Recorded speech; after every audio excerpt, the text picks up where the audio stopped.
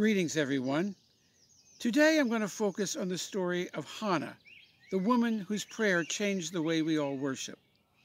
Now, if you're not familiar with the story of Hannah, you will find it in the first chapter of Samuel in the Bible, and it goes like this There was a man named Elkanah who had two wives.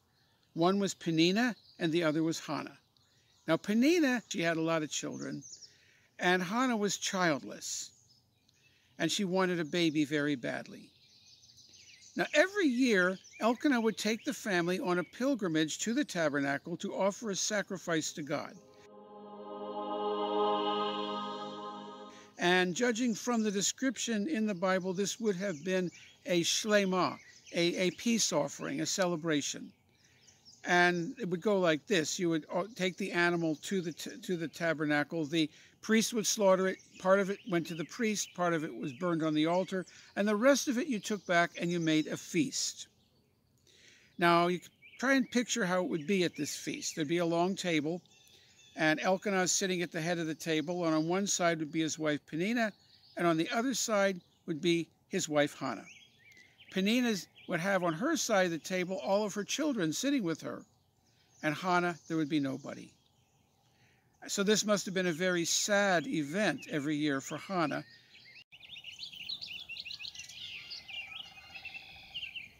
And Elkanah was not heartless about this. He understood her pain because the text tells us that he would give her a double portion of the sacrificial meat and said to her, Am I not worth more to you than ten sons? So truly there was love between them, and yet she was still so sad because she did not have a child.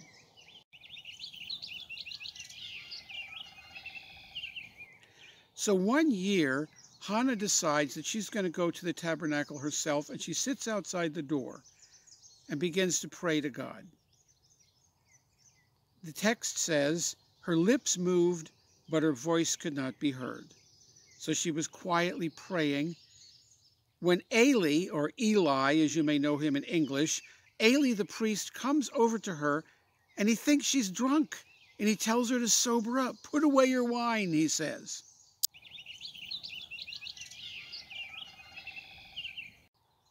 Now, the question we have to ask, the question that so few people ever do ask about this story, is why in the world did Eli think she was drunk? You could walk into any house of worship, any religion, anywhere in the world today, and if you see somebody sitting there quietly going, you know that they're praying. So, why did Eli think she was drunk? Well, it's because this was a radical new way to pray. In the Middle East of that time, I don't care what city, what country, what religion, what idol they worshiped, or whatever, the way you worshiped is you brought a physical sacrifice an animal or a bowl of fruit or a, a loaf of bread or something. And you brought this and gave it to the priest who would put part of it on the altar and then would, part of it would be saved to eat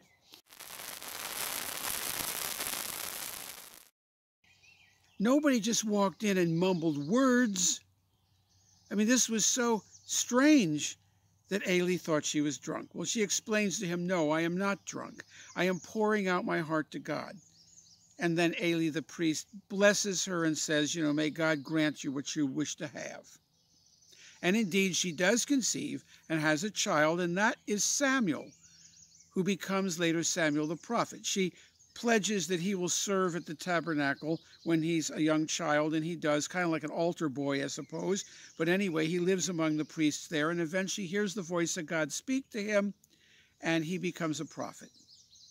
Now, if you follow the career of Samuel, the people come to him and they want him to anoint a king.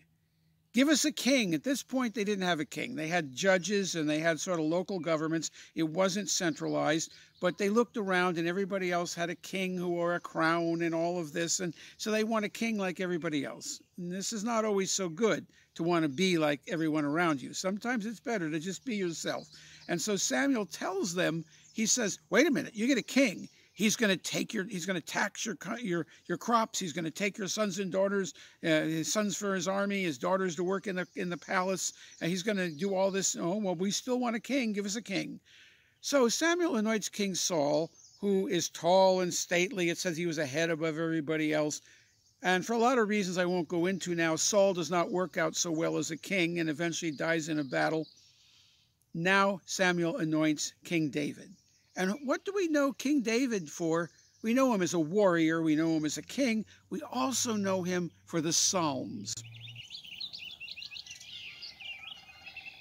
Now, there is some debate as to whether David actually wrote all those psalms or whether he compiled other songs that existed at the time in addition to his own psalms, but nevertheless, he compiled for us a hymnal, eh, a bunch of songs that we could sing, chant, recite, whatever. And to this day, both Jews and Christians recite the psalms as part of worship.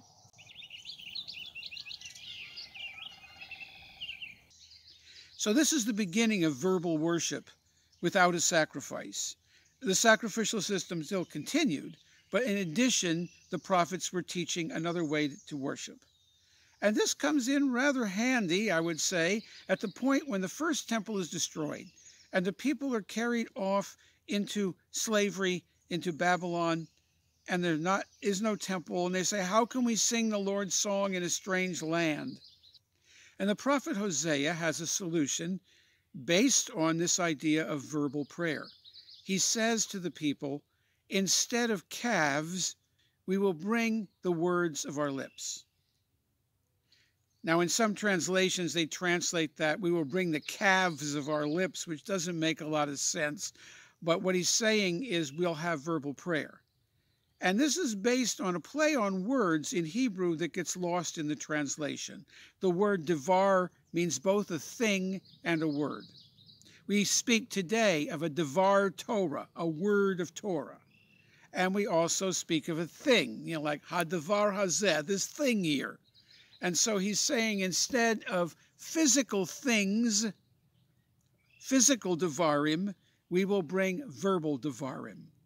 And so a person could trace the origins of verbal prayer in the Bible all the way back to Hannah, who quietly prayed at the door of the tabernacle, whose son Samuel becomes the prophet who anoints David, who writes the Psalms, which become the basis of verbal prayer that Hosea mentions. Now, the temple is eventually rebuilt and there's animal sacrifice again, but alongside of that, now we have verbal prayer, we have a liturgy, and so when the second temple was destroyed, we still had a way to worship God, and we offer the words of our mouths to God in praise and joy and happiness.